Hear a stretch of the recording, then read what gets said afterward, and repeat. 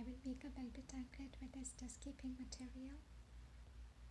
This is a very beautiful shade of dusky pink. The texture is velvet. And these are the threads that I will be using for the vintage embroidery work on this anklet. The anklet is completely handmade. I do not use sewing machines.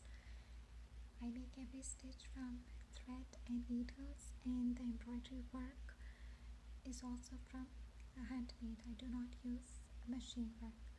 And uh, these are the strings. Either I will use these strings or either I will use a chain in the making of the anklet. This is the lining felt lining and this is the lining that will be on the back side of the anklet. If you want to order an anklet uh, in velvet or in any other texture you can email me or I can arrange a video call. Thank you